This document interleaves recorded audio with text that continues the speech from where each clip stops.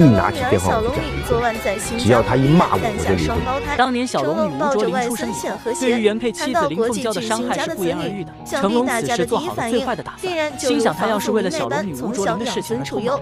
我就果断与他离婚。没曾想林凤娇的态度非常的柔和平静，反而安慰成龙，并嘱咐他照顾好吴绮莉母子。先安抚人家，不要伤害人家，也不要让人家伤害到我。你要我站出来，我随时站出来。这波操作让成龙感激涕零，直接上缴了自己的全部家当。不得不说，林凤娇的这一招确实高明，既表现出了自己作为原配妻子的大度一面，也让深陷泥潭的成龙不用独自面对舆论的压力，内心感受到了林凤娇的真情实意。其实此事与当年科比的英俊事件如出一辙。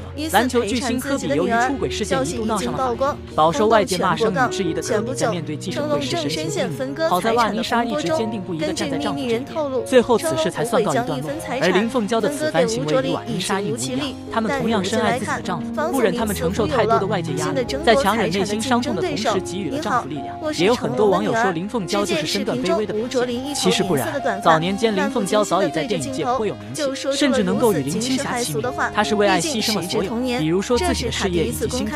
但是爱归爱，在她的这份浓烈真挚的爱情里，自然也有着自己的心机与小算盘。试想当年的她若是选择不原谅成龙的话，或许会拿到一笔可观的分手费用和一纸离婚书，成龙会投入到其他女人的怀抱，小龙女吴卓林也许有真真实实的父亲，但是林凤娇选择原谅，就彻底赢回了成龙的心，也得到了他全部的家产，挽回了自己即将破碎的家庭。这么做没把成龙推向吴绮丽儿子房祖名始终有自己的小龙女吴卓林就一直不被成龙所承认，活在众人异样的眼光里。只能说林凤娇一切都是为了自己和儿子在考虑。毕竟如今的成龙的心被他完全收服。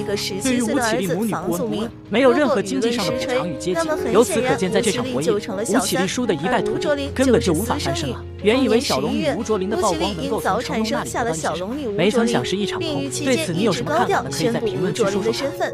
可以说是活生生的上演了。一场豪门逼宫的戏码，出乎意料的是，面对外界的议论纷纷，成龙本人却是不以为然。我犯了全天下男人都会犯的错，这句经典名言正是出自成龙之口。成龙大哥究竟是犯了什么错？一九九九年，亚洲小姐吴绮莉召开新闻发布会，宣布自己已经怀上了功夫巨星成龙的孩子。这一重磅消息直接炸开了锅，因为此时的成龙早已娶了林凤娇为妻，而他们两人的孩子吴卓林则成了这段错综复杂的感情中唯一的牺牲品。吴绮莉是何人？从亚洲小姐选美出道，在香港影坛。占有一定地位，并且还是地产富二代，这样一个背景殷实的富家千金，直接和成龙对簿公堂。成龙在娱乐圈可以说是人尽皆知的花花公子。他们在一次聚会上偶遇，当时虽然成龙已经有了家室，但还是被吴绮莉的美貌吸引，随后对她发起了猛烈的追求。就这样，尽管知道这个男人已经结婚，吴绮莉还是接受了。两人在一起的第二年，吴绮莉就测出了怀孕，但成龙并不打算负责，并且开始避而不见。无奈之下，吴绮莉只好召开发布会，向全世界宣布自己怀了成龙的孩子。由于形势所迫，成龙只能出面解释，承认了自己的婚内出轨行为，也就有了开头的那句名言。相比于吴绮莉咄咄逼人的态度，成龙的原配林凤娇就显得温和许多，不仅大度原谅成龙。还让他不要伤害对方。对比之下，成龙当然还是选择了后者，并且宣布彻底与吴绮莉断绝关系，即便孩子生下来也不会承认，还将所有财产全部转移到林凤娇名下。而他们的女儿吴卓林就带着这样的争议出生。这个成龙不肯承认的私生女，出生二十多年，从未见过自己的生父，反而因为这样的标签，成为了媒体恶意报道的对象。不但如此，由于母亲吴绮莉性格极端，对成龙因爱生恨，将怒火全部发。发泄到了女儿身上。吴卓林曾在采访中透露，自己经常被母亲无端家暴。这样的成长环境，也让吴卓林长大后变得异常叛逆，做出过非常出格的行为。二零一七年，他宣布和吴绮莉断绝关系，并且在社交平台上高调宣布自己出柜，并在二零一八年和女友结婚。虽然重新获得自由，但生活过得并不富裕。后来甚至还要寻求社会帮助。不得不说，作为成龙这位国际巨星的子女，如今却沦落至此，不得不让人唏嘘。可见家长的不负责任，对孩子会造成多么严重的伤害。对此，你有什么看法？欢迎评论区讨论。然而在家饱受噩梦，吴卓林在学校也同样是备受欺凌。因为网上的舆论不胫而走，她是国际巨星私生女的身份，也被学校的同学议论纷纷。大家都会对他指指点点，言论充满讽刺和嘲笑，更甚者直接对他进行围堵。对此一切的不公。小小年纪的返回大坑道的住所，虽然他依旧很配合在场记者讲了几句，不过对于女儿的身体情况，依旧没有做出正面的回应。他只能独自犯错，控制欲极强的母亲。他的家庭教育，充满校园暴力的学校经历，这一切一切不幸降临到吴卓林的身上，直接致使了他后来人生价值观的扭曲。抽烟喝酒，打架自残。小小年纪的吴卓林，俨然张开了所有不良的刺，用坏孩子的定义来保护自己。二零一五年三月，十六岁的吴卓林第一次向警方报警称母亲抽烟酗酒，并向警方。伸展了自己遍布划痕的双臂，说他虐待了自己。为此，吴绮莉第一次因虐待儿童被警察抓捕，而吴卓林也进了医院。不是说对人其他人，是自己跟自己。我想每一个妈妈当过妈妈的人会有这个感觉。那个时候我朋友问，他说你自己感觉你想要他，不要想其他的，什么都不要去想。这是我觉得最简单、最单纯的一个想法，因为你生他出来不是一两天，是不是？不是一两天的事情，是一辈子。是不是一辈子的事情了？